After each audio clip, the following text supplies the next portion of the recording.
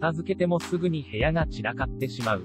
そんなお悩みを抱えている人は、まず部屋に何が散乱しているのかをチェックしてみましょう。ズバリ、それが散らかる原因イコール片付けの敵です。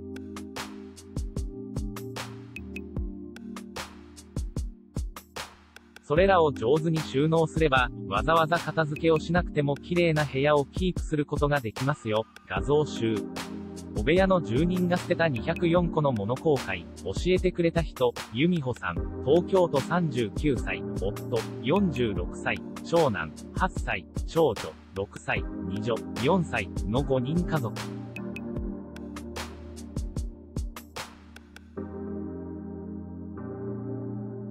週4日、フルタイムで忙しく働きながら、子育ても家事もこなしている。Instagram のアカウントは yu_mi_ho